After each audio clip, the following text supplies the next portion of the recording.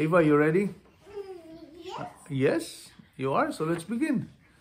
In the name of the Father and of the Son and of the Holy Spirit. Amen. Come, Holy Spirit, fill the hearts of thy faithful and enkindle in them the fire of your love. Send forth your Spirit, and they shall be created. Let us pray. O God, who by the light of the Holy Spirit didst instruct the hearts of thy faithful, grant us by the same Holy Spirit to be truly wise and ever rejoice in his consolation. Through the same Christ our Lord. Amen. Good morning, everybody. Morning. It's beginning of the work week. It's Monday, March 8, 2021.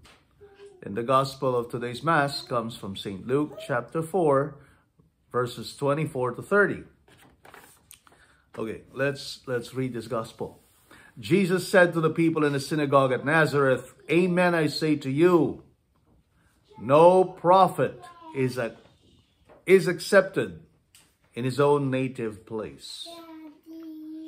It's a very popular saying that, uh, you know, our Lord himself uttered um, to the Jews. Okay? No prophet. In fact, the old way of formulating this is no prophet is without honor except in his own country. Okay? Meaning, uh, prophets are normally regarded well and highly, except in the place where they came from. Okay? Now, prophet here can mean many things. It, uh, of course, historically, our Lord is talking about the prophets that he has sent to the Jewish people in order to reveal uh, things about God and to prepare for his coming. And many of these prophets were rejected by the Jews. Okay? Killed, in fact, and disposed of in very bad ways. Right? so, and our Lord himself was rejected by his own people when he uh, already came out. You remember in the synagogue, that scene in the synagogue where he had read the prophecy of Isaiah and he pointed to himself and said, well, this is being fulfilled in your hearing today. What did the people do? They couldn't take it. They, they were going to throw him uh, off the brow of the hill. Well, actually, that's also part of this gospel reading. But that's just the introduction I wanted you to understand. Okay, so no prophet is accepted in his own native place. That is, I guess, part of human nature that we tend to reject the people who are supposed to bring us good news, the people who are supposed to bring us, um, you know, closer to God, the people who are supposed to guide us, the people God has put beside us in order to guide us in our ways towards heaven. We tend to reject them. We tend to reject them. Just the same way that these people rejected many of the prophets God had sent them. So let's read through. Indeed, I tell you, and here are some examples, there were many widows in Israel in the days of Elijah. When the sky was closed for three and a half years and a severe famine spread over the entire land, well, what happened? It was to none of these that Elijah was sent, but only to a widow in Zarephath in the land of Sidon. Again, there were many lepers in Israel during the time of Elisha the prophet, yet not one of them was cleansed, but only Naaman the Syrian. When the people in the synagogue heard this, so Jesus was apparently talking to the Jews in the synagogue, they were filled with fury. Okay? Fury. They were violent. They were mad. Right? They rose up, drove him out of the town, and led him to the brow of the hill on which their own town had been built, to hurl him down headlong. But he passed through their midst and went away. So he was able to escape them. But could you imagine this ungrateful people? Eh? Jesus was just giving them an example of the rejection that they themselves have made of the prophets. because they were also rejecting him, right? And he was already explaining to them that, look, the more you reject the prophets, the people that I have put before you to guide you, well, the more disadvantageous it becomes to you. Right? If you just keep rejecting all the good people, the good uh, instruments I have used in the past, and I'm still using now, okay, because we continue to be sent these so-called prophets or guides or spiritual guides for our souls, there are always people like that that God puts before us. Number one of whom are your, very good, Mia, your own parents. Your own parents are the modern day prophets to you. Your own pastors, your own uh, uh, uh, whoever whoever it is that you are uh, that you have confidence in to tell the stories of your lives. These are people that God is putting right beside you to guide you in life. But what have many of us, what have many of us chosen to do? Right? Many of us have chosen to reject these people, beginning from children who disobey their parents. Right? Beginning from children who keep rebelling against what their parents tell them. They forget that, you know, their parents were put beside them there to help them grow, not only grow in the faith and understand the faith, but grow in understanding life in general. Right?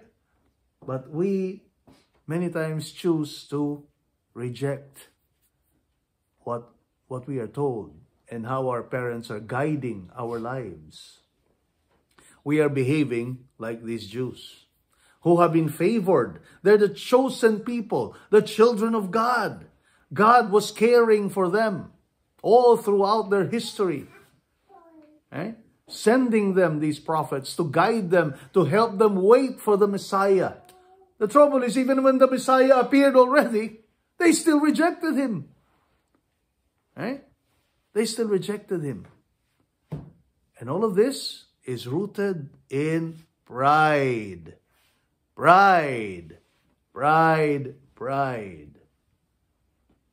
They were just so puffed up with pride. They were cocky. They were terrible. And, and, and, you know what happens? Look, look what they were going to do to Jesus. Right? They get so mad when Jesus reminds them of this, of this truth about them. Jesus was reminding them about the truth about them, how much they rejected the prophets. Right? What do they do? Instead of humbling themselves and instead of turning to themselves and asking themselves, okay, what can I change in me to make me better? What did they do? They reacted violently right? They reacted violently to the point of even trying to get rid of Jesus and killing him, throwing him out, out of their, uh, uh, um, you know, on the brow, the hill where their town was built. You know what? When you rebel against your parents, you're doing the same thing. You react violently. See? Because that's what disobedience is. That's what rebellion is. It's a violent reaction. That's why you see every disobedient kid reacts exactly the same way with violence. Not so much that they're going to be uh, coming out with with uh, you know, punches and things like that. It sometimes goes there, but the fact that you know observe your behavior when you disobey, when you don't like what your parents are telling you. Observe. What do you do? Huh? You bang doors. You you, you, throw things around, you throw a, a, a tantrum of all sorts. Well, that's the same violence that these Jews did to Jesus. Right? And that is what people do when they're so full of themselves and so proud that they cannot look into themselves and into their consciences and examine themselves and think and pray and ask help from the Holy Spirit. What is here that I can change? What is about me that I need to change for the better? Okay? That is what a humble person would do. Faced with corrections and guidance that he is receiving from the prophets that God is putting beside you. And by the way, this thing does not just affect children, it affects anybody, including adults, including spouses. You know, you spouses right there, married people, you have each other. God, you know, you have to consider your spouse as the prophet God has put before you to help you eh? go through and navigate life together. You cannot keep rejecting what your spouses tell you because they are the prophets. School teachers or priests or ministers or pastors or whoever has some kind of moral authority over our life. We all have that. We cannot reject that. Nobody in the world is so independent of any kind of influence like that. No one. No one. We all need somebody else's guidance. We all need somebody else's counsel. We all need somebody else's moral uh, ascendancy sometimes in order to guide us through life. And if we all we do is to rebel against them, we're doomed. We can't do that. Okay? We can't do that. We will be doomed. So let's humble ourselves. This is just another application. We have been talking about pride and humility in the past commentaries. This is just one other application of it. Let's be humble. Let's be humble.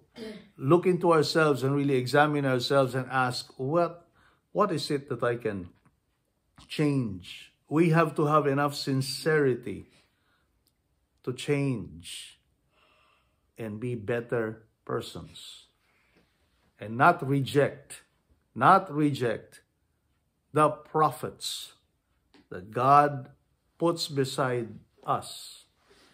We all have that prophet. Let's listen. Pay attention. Take heed. And do what is right. And it begins many times with obeying. Obeying. Be obedient to the prophets that God has put beside you, beside each and every one of you. Okay? And that way, that way, you won't lose your way. You will find your way to heaven, which is our ultimate goal anyway. You will find it easier to go to heaven if you just learn to be humble, learn to obey, learn to listen, and change what needs to be changed. Okay, let's go. That's it for us. Have a good day, everybody. Hope bye. to see you again tomorrow.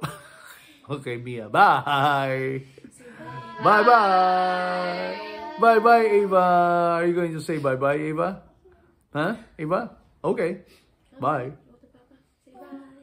she doesn't want to show herself. Okay. Bye-bye, everybody. Hope to see you tomorrow. Have a good day. Bye-bye. Bye.